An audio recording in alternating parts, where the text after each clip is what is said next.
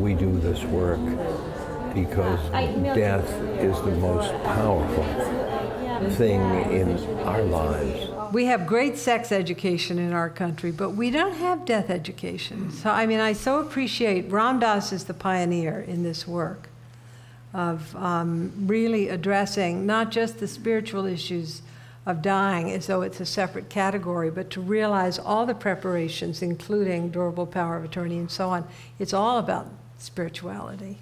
How basically ignorant uh, most of us are. About death, I have been in denial. The fears and anxieties and, and various emotions. Our lack of reconciliation with the truth of our mortality, I feel, has given rise to global suffering, consumerism, stupidity, and the rest. I was particularly interested in was how to be with a dying person.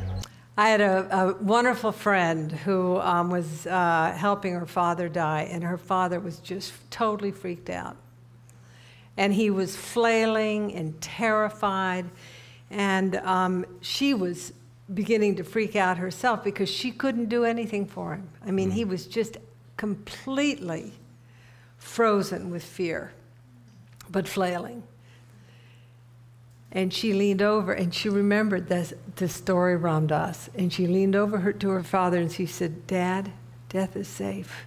And he just grabbed it. It was like the bark, the boat that would take him to the other shore. And he said those words until he died. That's great. Death is safe. Death is safe. Death is safe.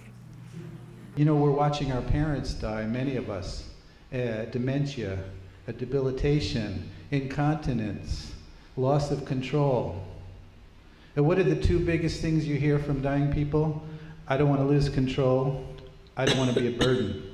And actually, that's one of the projects A Doorway into Light is working on in terms of training communities for people who are dying alone or dying with somebody who's completely burned out. When I was diagnosed with prostate cancer, threw her into the role of caretaker and me into a kind of dependence. I'm a hospice nurse. All you have to do is just be present for other people. You don't have to know, or you don't have to teach, or you don't have to answer questions. You don't have to just be present. I don't work with dying people because I'm Mother Teresa in drag. I don't do it because I'm even a nice guy. I do it because I want to awaken. And being around dying people is the most alive environment in which I can find to see the places in my own practice where I think I'm somebody solid. And it calls out the best in me. It's so unfortunate. People die and there's, they're, they'll be quiet and the, the caretakers will come talk, talk, talk, you know, or put up their put up little pictures of their family or trying to pull them back. And you've got to honor that, that, that moment. And it can't be pushing back, push, or pull, uh, pull. That's the, the person's got to, that karma will do that. Yeah learning more about myself and my relationship with my mortality. On your relationships with your caregivers and, and, and, and, and, and what this kind of existence, uh, the effect it has on them and, and, and what your, your, your social exchanges are, everything, everything is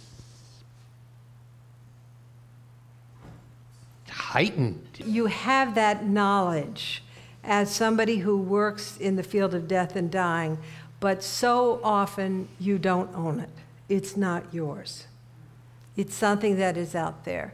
And then, you know, a little catastrophe like a stroke or something else wake, awakens you to the truth that this could happen right tonight. Anybody driving out of here, gone look at my fears around dying, and, and I'm so grateful to Ram Dass and Bodhi and Leila, and, and Joan is just absolutely amazing.